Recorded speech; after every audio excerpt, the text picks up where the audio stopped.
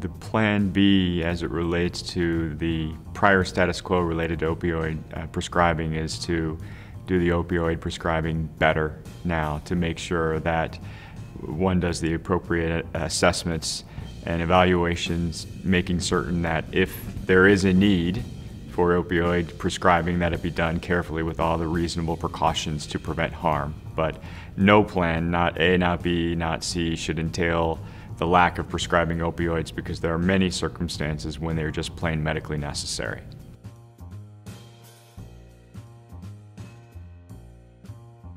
I would encourage a primary care physician really to look at a variety of sources in determining what will be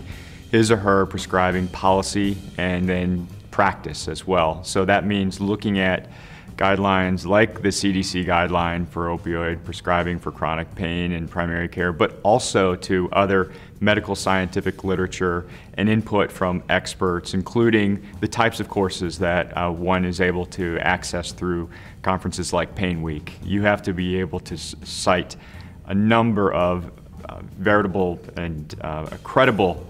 uh, sources as you develop what will be your approach to safer prescribing of any medication, but especially controlled medications like opioid pain relievers.